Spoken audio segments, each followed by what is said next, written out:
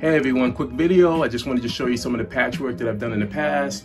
Um, these are my Gundam patches. Um, these are comp patches that were given to me by the patch maker, but I did the artwork. So anyway, I just wanted to show some love and appreciation for you guys out there that have commented on my artwork and stuff like that. And just to show you some of the stuff, this is a, on my wall.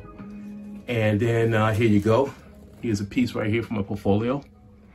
And this is Gundam stuff. This is a particular client that really loves Gundam stuff. Oh, so here you go, that.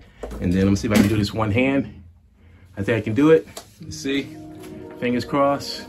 Here's another piece that I did. Oh, man. This is not easy. So there you go. Hope you guys enjoy. And um, yeah, definitely keep uh, let me know how much you like my stuff. Peace.